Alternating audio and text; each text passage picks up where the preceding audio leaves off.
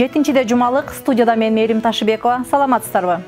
Жетинчи каналдын кабарчылары сиздерге аптада болуп өткөн окуялардын эң маанилүүлөрүн кеңири айтып беришет. Алгач бүгүнкү чыгарылыштын кыскача мазмуну. Коронавирустун мизи кайта элек жарандар болсо коопсуздук чараларын аткарбай жатышат. Былык артынан былык өкмөт башчыны ээрчиген жаман сөздөрдүн аягы тыйылбай келет. Радио жыштыкчуусу тарай электе эми алган диплому күмөн жаратты сынчынын сыңар өтүгү майрык бирөөнүн былыгын чукуйм деп кагуу жеген канат исаев. Оозунан жаңылган депутаттар ылакапка айланды. Эл өкүлдөрүнүн эсте каларлык сөздөрү эми ушул жана башка маалыматтарга кененирээк токтолобуз. Азыр болсо апта хроникасына назарыңыздарды бурабыз дүйшөмбү 25 май. Кыргызстанда бардык тармактары ишке кирип бир нече тармактары ишин жандантты. Бул күнү ошто милиция кызматкерлери күчөтүлгөн тартиптеги ишин токтоткон жок. Жаратылышка эс алууга чыккандарга рейд жүргүзүлдү. Кыргызстандын балдарга билим берүү уюмдарынын ассоциациясы жеке бала бакчалардын иштөөсүнө уруксат берүүнү талап кылып президентке парламентке жана өкмөткө кайрылуу жолдоду. Шейшемби жыйырма алтынчы май өлкө башчысы чүй облусуна болгон иш сапарынын алкагында өлкө аймагында коронавирус инфекциясынын жайылуу шартында фармацевтикалык ишкананын ишмердүүлүгү менен таанышты. Исхак масалиевдин депутаттык ыйгарым укугу мөөнөтүнөн эрте токтотулуп мандаты алынды. Анын ордуна нургазы айдаров депутаттык мандатка ээ болду. Бул күнү жогорку окуу жайлары абитуриенттерди жыйырма экинчи июлдан тарта кабыл ала баштаары белгилүү болду шаршемби жыйырма жетинчи май ош шаарындагы түнкү клубдарга рейд жүргүзүлдү. Жалпысынан үч түнкү клубдун иши токтотулду. Премьер министр мухаммедкалый абылгазиев радио жыштык чуусунан улам кыска мөөнөттүү эмгек өргүүсүн алды. Кыргызстан казакстандан беш жүз миллион киловатт саат электр энергиясын алат. Мындай протоколго эки тараптын өкүлдөрү кол коюшту бейшемби жыйырма сегизинчи май. жыйырма сегизинчи май кыргызстанда чек арачылардын күнү деп белгиленип келет. Буга байланыштуу мамлекет башчы сооронбай жээнбеков чек арачыларды кесиптик майрамы менен куттуктады президент жогорку соттун төрайымы гүлбара калиева менен жолугушту. Авто жол дирекциясынын кызматкерлери коррупцияга шектүү катары кармалды бул күнү ош мамлекеттик университетинин сексен жылдык мааракеси онлайн белгиленди. Жума жыйырма тогузунчу май абал куурчуп жатат. Илдетти жуктургандардын саны көбөйүп оору туу чокусуна жетти. Жыйырма тогузунчу майда кыргызстандын аскер кызматкерлеринин өлкөнүн куралдуу күчтөрүнүн күнү президент куралдуу күчтөрдүн майрамы менен куттуктады кыргызстандык хирург мамбет мамакеев гиннестин рекорддор китебине кирип дүйнөдө өз кесиби менен эң узак иштеген адис деп табылды.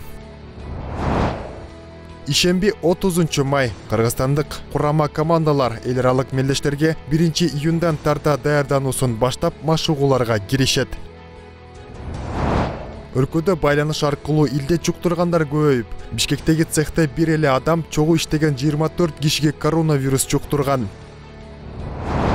ковид он тогуз коронавирусу менен күрөшүүнүн алкагында жардам иретинде. Түштүк корея кыргызстанга үч жүз миң доллар бөлүп ага пцр тесттер жана коронавируска тест алуучу жабдуулар сатылып алынат.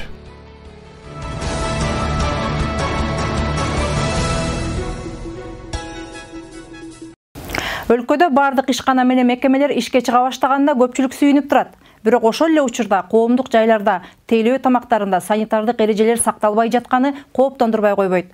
Коомдук транспортто ооруну жайылтуучу болуп калууда. Себеби көпчүлүк маска кийбей маршруттук каттамдарга тыгылышып түшүп жатканы тууралуу маалыматтар көп айтылууда.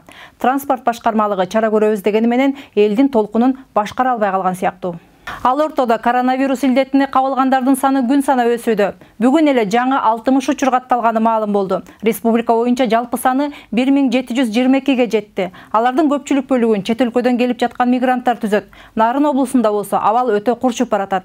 Мындай кырдаалда жарандарыбызга өзгөчө аң сезимдүүлүк керек болуп турат. Ал эми тиешелүү жетекчилер көзөмөл иштерин күчөтүп чет өлкөдөн келген имараттарды обсервацияга жаткыруу жагын катуу көзөмөлгө алуусу зарыл болбосо бир адамдын кесепети миңдеген адамдарга тийиши ыктымал аралыкты сактагыла деген маалыматтар бар куда аралыкты сактайт ошончо эл а эмнеге маскаңыз жок давлением көтөрүлүп бош каттайт беле же троллейбус жык эмес беле угушпайт экен да эл баш бербейт экен баласын өлүп калды деди маскасы жок жүрө турган болсо бул жерде атайын каралган жазалоо иштери бар абал курчуп оору жуктуруп алгандардын саны артып барат. Баштапкы күндөрү ондон ашуун адамдан аныкталган болсо азыркы учурда ал сан үч эсеге көп катталууда.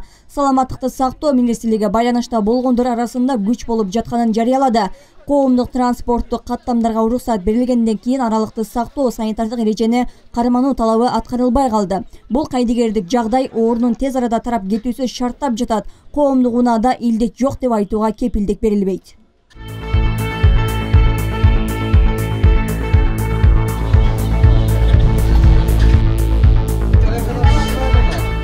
Е отурбагыла бири бириңерден алысыраак отуругула десек эмнеге ишке чыгасыңар болбосо дейби биз каяк ким менен кетели таксиге пулубуз жок дегендер болуп атат да азыр мен мисалы үчүн болушунча аракет кылып тез айдагенге уже убактым кеч калып кеттим да бир эки мүнөт жолдо кармалып калат экенсиң мында пробкалар болот маска таккыла дейм жок эле карантиниңи деген сөздү ам уктук бар жогун ар кимисине сүйлөдүк кыскача болушунча сүйлөп атабыз угушпайт экен да эл баш бербейт экен бизге ош шаарында учурда жыйырма алты каттам ишке кирген жарандар аралыкты сактоо үчүн автоунаалардын санын көбөйтүү керектигин айтышат. Деген менен анда деле элди тартипке салуу татаал болуп турат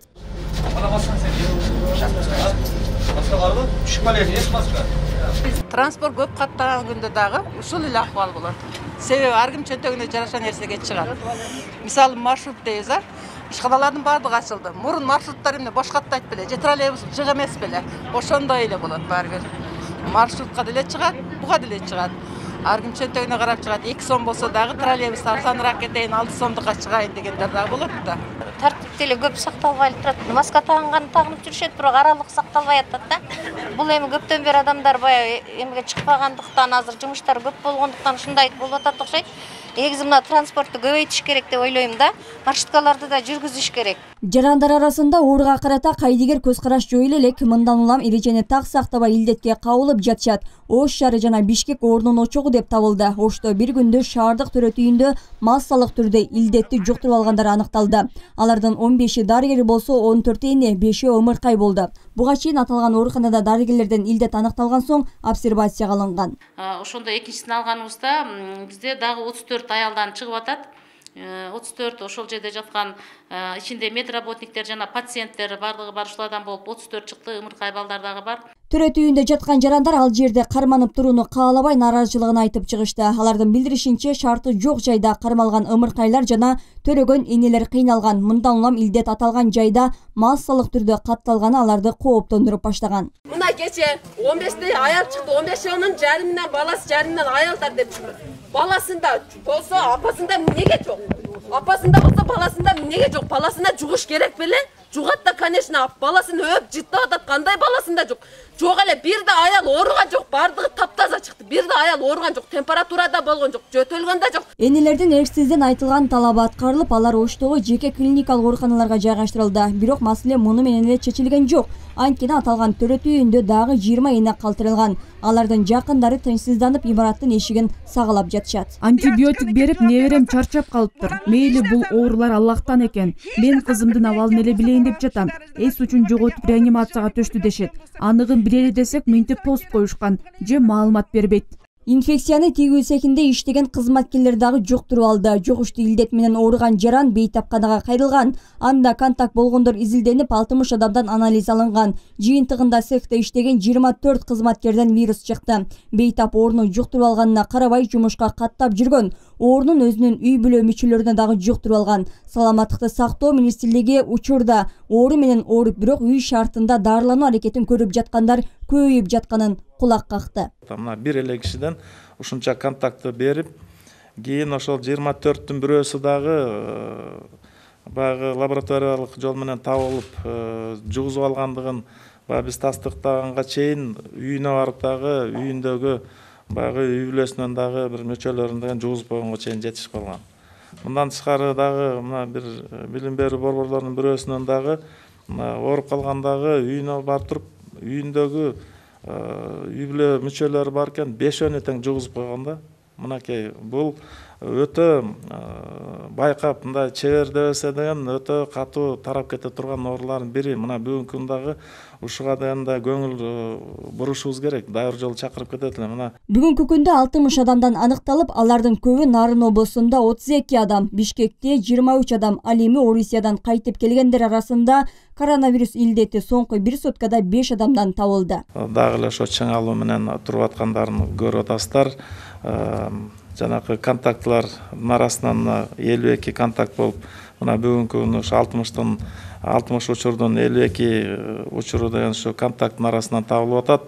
Бул дагы эле эмнени айгинелеп туруп атат? Бул коронавирустук инфекция бүгүнкү күнү ушул көзөмөлдө туруп атат. Ошентсе да жанакындай контакттар азайбай жугуш жугуу потенциалы дагы эле бийик.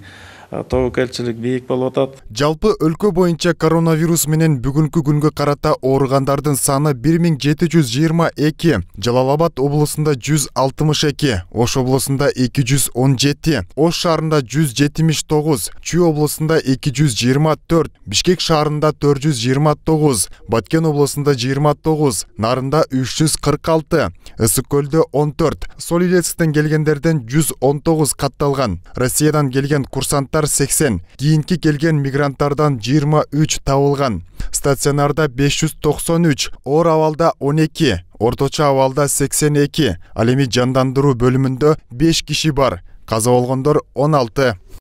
Оору күчөп жатканы менен ишканалар кызматын жандантууда анда июндан тарта калкты тейлөө тармагында токсон беш пайызы ишке кирет. Анда бала бакчалар ачылат атайын түзүлгөн бул багытта комиссия менчигинин түрүнө карабастан уруксаат берет. Ал катарда ички аба каттамдардагы ишин жанданта турган болду. Сегизинчи июндан тарта аэропорттор иштей баштайт. Ушул ооруну вирусту жуктуруп алуу коркунучу бар деп аталган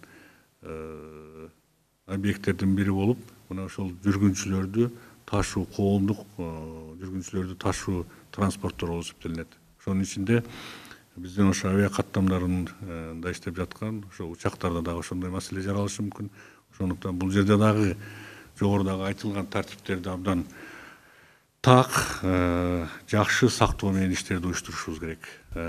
Суроо туулушу мүмкүн эмне үчүн эгер ушундай коркунуч болсо бул жакты кое берип жатасыңар деген маселе чыгышы мүмкүн себеби дегенде турмуш бир жерде турбайт. Аны баарыбыз түшүнүп атабыз дүйнө жүзү бүгүнкү күндө ушундай жол менен кетип атат саламаттыкты сактоо министрлиги ооруга карата кайдыгер мамиледе болбоого чакырууда. Учурда илдеттин тоо чокусуна жеткен мезгилинде турары айтылат. Андыктан карантиндик эрежени так сактап үйдө болуу зарылдыгы күчүндө республикалык штаб коомдук жайларда бет капсыз жүрүүгө тыюу салды. Эрежеге баш ийбегендер жазаланат. Буга карата учурда ишмердүүлүгүнө уруксат берилген тармактарда текшерүү иши уланууда. Гүлшайыр талантбек кызы бактияр асылбек уулу жетинчи канал жумалык үчүн. Бул аптада өкмөт башчы өргүүгө чыкты бирок бул жөн жеринен болгон жок.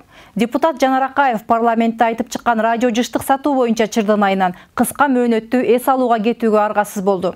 Иликтөө объективдүү жүрүп басым жасады деген сөздөн оолак болуу үчүн кеткенин жалпыга жар салды. Бул чырдын чуусу тарай электе өкмөт башчыны дагы бир ушак ээрчиди америкада жашап иштеп жүргөн айбек хакимов премьер министрдин эл аралык университетти бүтүргөнүнөн күмөн санап чыкты.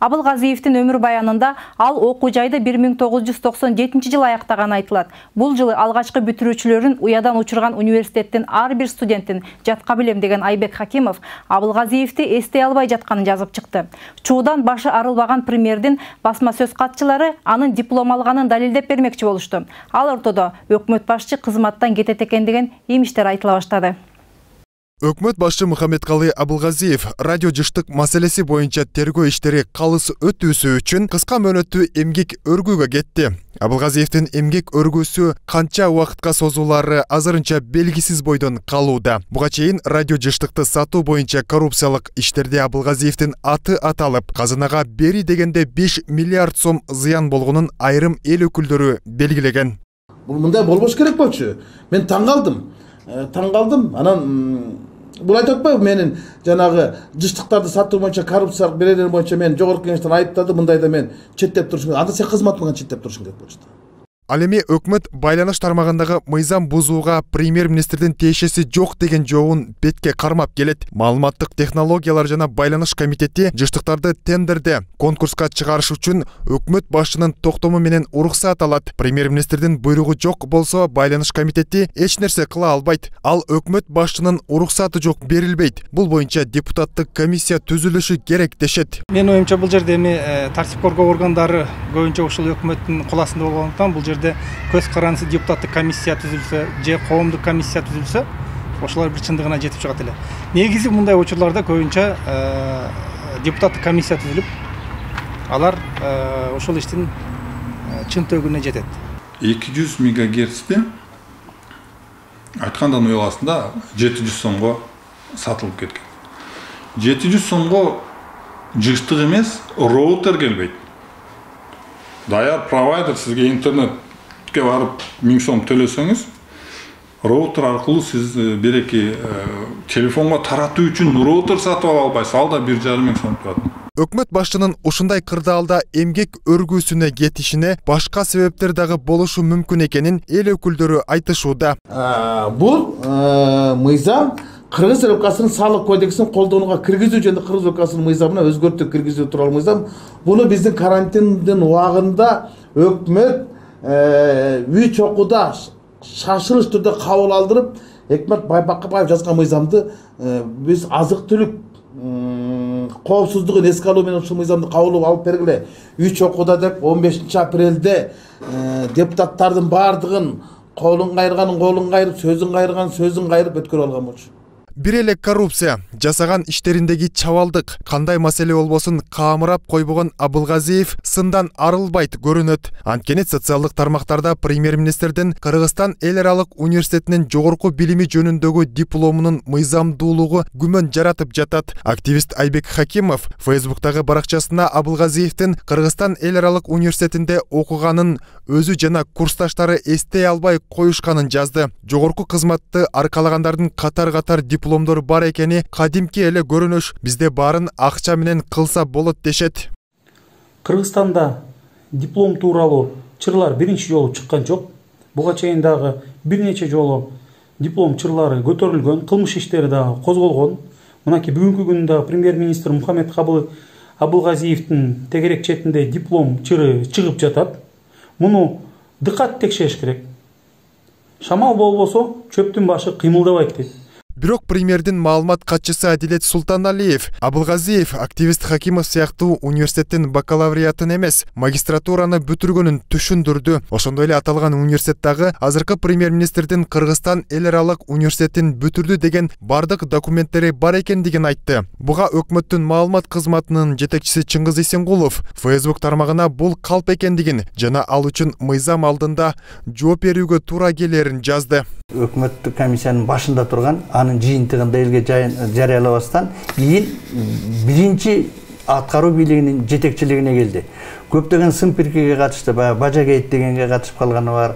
Туура эмес чечимдерди кабыл алып алып кайта артка кайткандагысы мына бюджетти штраф менен толтурабыз деп жазаларды дагы күчөтүп койгон эле алар иштебей эле калбадыбы мамлекеттик бийлик өзү сунуштаган мыйзамдар иштебесе толук кандуу отставкага кетиш керек. Кыргызстандын тарыхында эң көп убакыт өкмөт башчылыкты аркалаган абылгазиевдин убагында дүркүрөп экономика деле көтөрүлүп кеткен жок. Жеке ишкерлер ачкан ишкананын лентасын кесип элдин сынына токсон беш пайызы алмашты. Мурдун балта кеспеген абылгазиев моралдык жоопкерчиликти дагы сезип койгон жок. Кыска мөөнөткө өргүүгө кетти. Эми ошол бойдон биротоло кызмат ордуна кайтып келбейт деген күбүр шыбыр кептер айтылууда.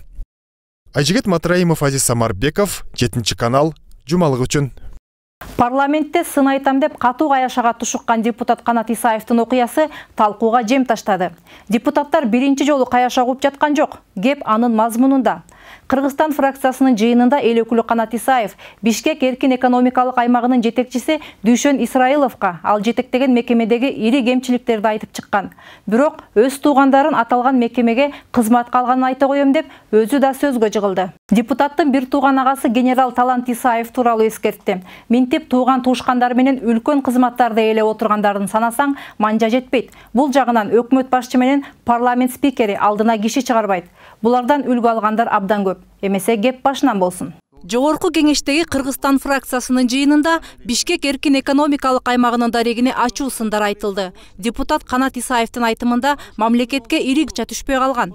Үч жүз гектар жери бар аймак. Жыл ичинде тапкан кирешесинен салык катары казынага алты миллион сом да төлөгөн эмес.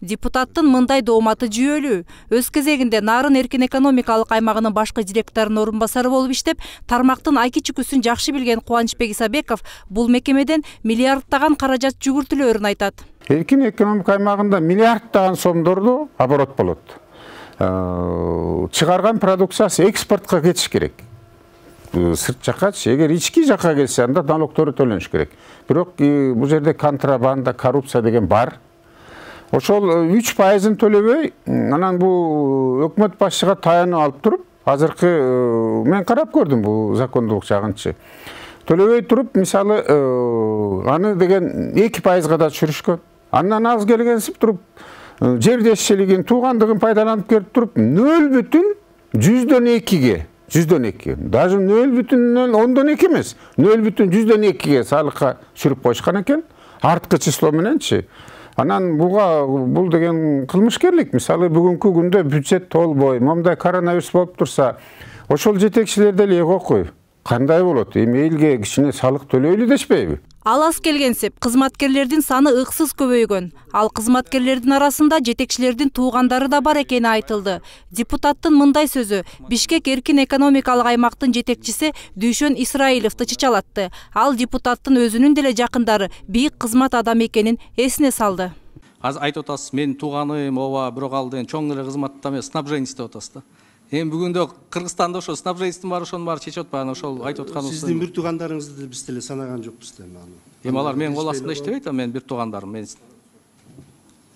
тиги служба эмес.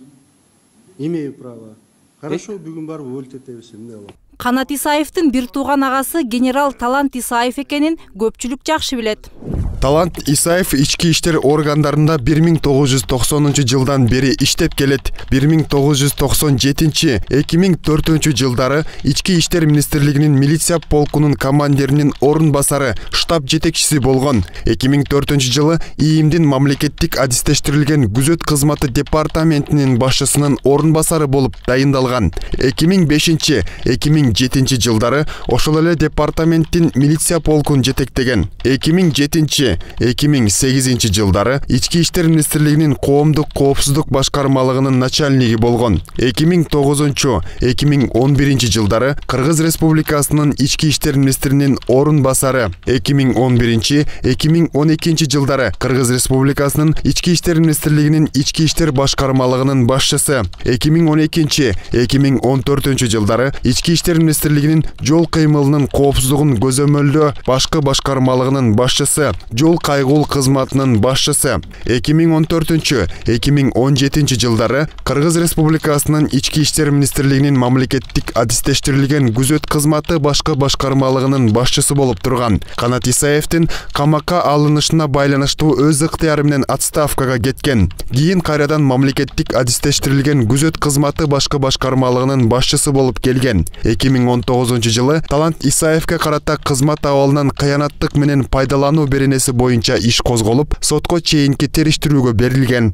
Бизде депутаттардын көпчүлүктөрүнүн кызматкерлери бир туугандары азыр кызматтарда иштейт. Ошол эле өкмөттү бекитип атканда тууган уруктарын жердештерин классташтарын баары түртөт.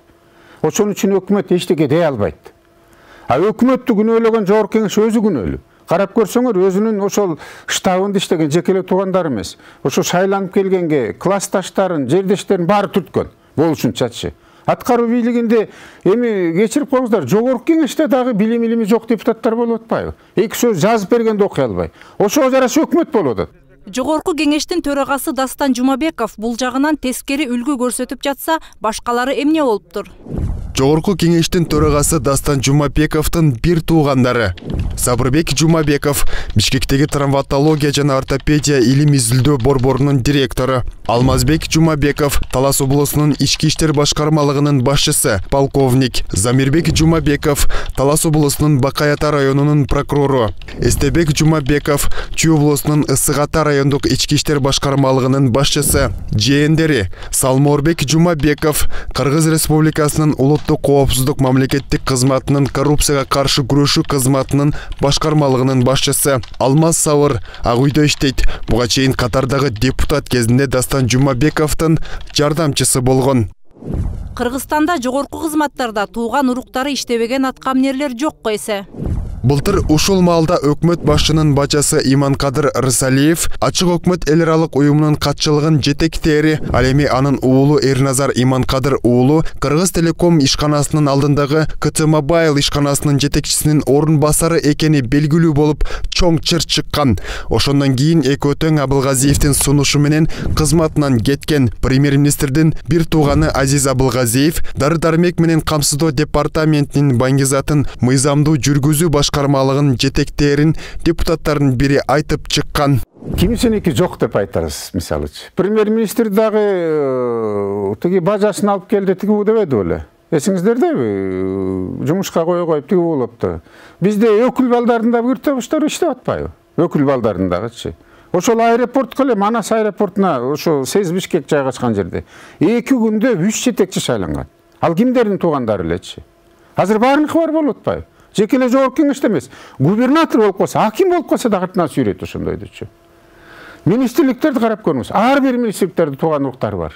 Депутат бир былыгын айтса чиновник андай күнөө сенде деле бар деп атырылганы ошондон. Башканын кемчилигин чукуйун десе өзүнүкү оркоюп чыгып калат баарысынын арты таза эмес болгондуктан сен мага тийбе мен сага тийбейм принцибине өтүп алышкан өлкө жетекчилигине эч булганбаган таза адамдар келмейинче мындай кемчиликтер жоюларына ишенүү кыйын мээрим ташыбекова роза акматжан кызы жогорку кеңештин алтынчы чакырылышынын курамы өлкө тарыхындагы эң эле сапатсыз парламент болгонун адистер да коомчулук да белгилеп келишет. Эл өкүлдөрүнүн айрымдары парламентке карата айтылып жаткан ачуу сындарды моюнга алып мандатын тапшырган учурлар да болууда. Сапатсыз парламент деген атка конушуна себепкер болгон депутаттар көп. Алардын бири тазабек икрамов кемчилигин моюнга алмак тургай өзүнө карата сын айткандарды жамандап эми жаңылса эмне болуптур? деген позицияга өтүп алды. Эгер бир эле ирет жаңылса унутулуп кетмектир бирок анын ар бир ооз ачкан эле күлкүгө айланганын айтпай коюуга да мүмкүн эмес.